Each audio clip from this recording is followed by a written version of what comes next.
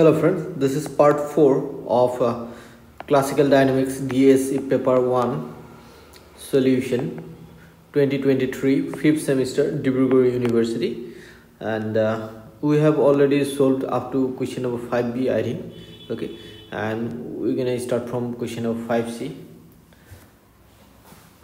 so before we start please subscribe the channel hit the thumbs up button. Also share with your friends inspire me to create new contents for you so and if you want to follow me on insta this is my insta id ojha lakhyajit o j h a lakhyajit l a k h y a j i t 123 this is my insta id you can follow me on insta. So now let's start.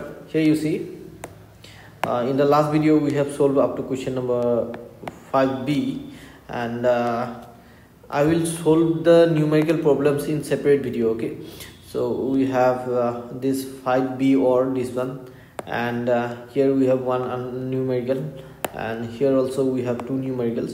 We're gonna solve these numericals uh, in separate video uh, that will be available in the morning tomorrow. So that's why press the bell icon so that you get notified when new video will be uploaded.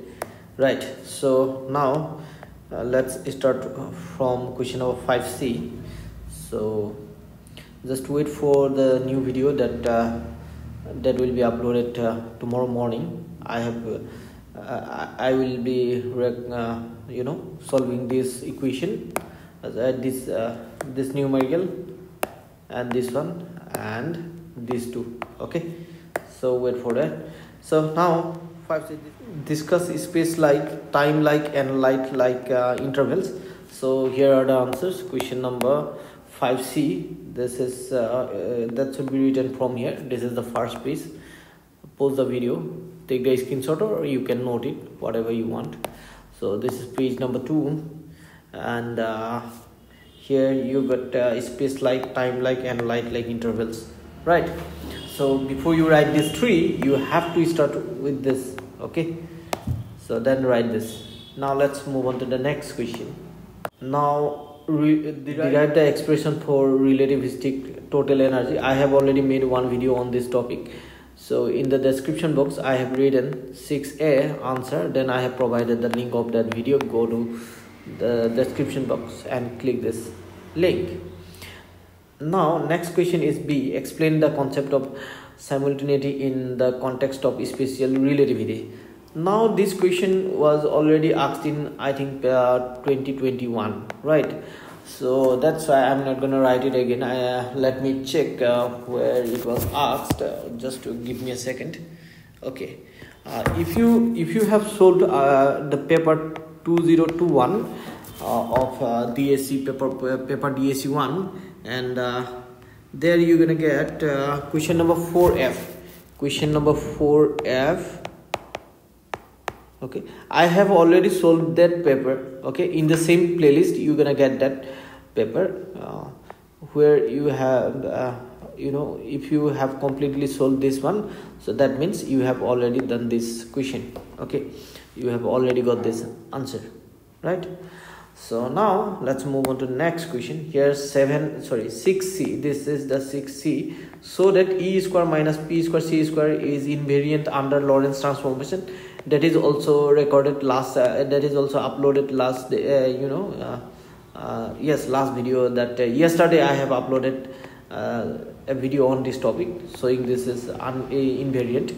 So link is in the description box or if you see the video uploaded yesterday you're gonna find there also. Just i have written 6c in the description box then i have provided the link and now question number 7a define relativistic doppler effect and discuss the silent features of doppler effect. So let me show you here.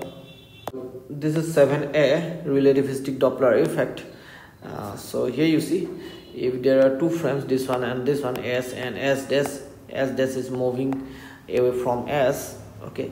Then uh, you know uh, an observer at uh, s this receives signal from a source at s so the frequency that uh, the observer in motion will receive is given by this equation okay?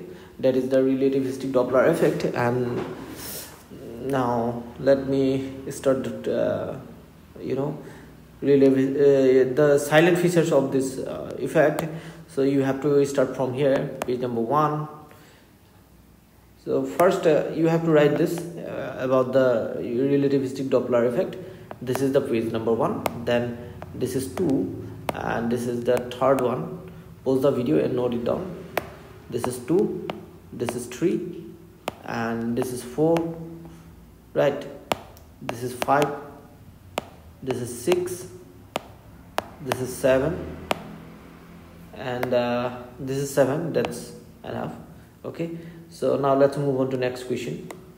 Next question is 7b explain the concept of four uh, force and discuss the conservation of four momentum. So here also let me give you the answer directly. So question number 7b starts from here. 7b answer. This is the page 1 pause the video and note it or take the screenshot. This is page number 2 next page number 3 then uh, next. This is page number 4 okay? And here it starts conservation of you know four momentum okay? This is 1 2 conservation of four momentum. Here it is 3 4 this is 5 6 okay so now you see let me show you again. So same question number as uh, 7b there were two parts. You have to show the uh, discuss the conservation of four momentum as well. So here this is the first piece second third fourth fifth and sixth. That's the last so now you see.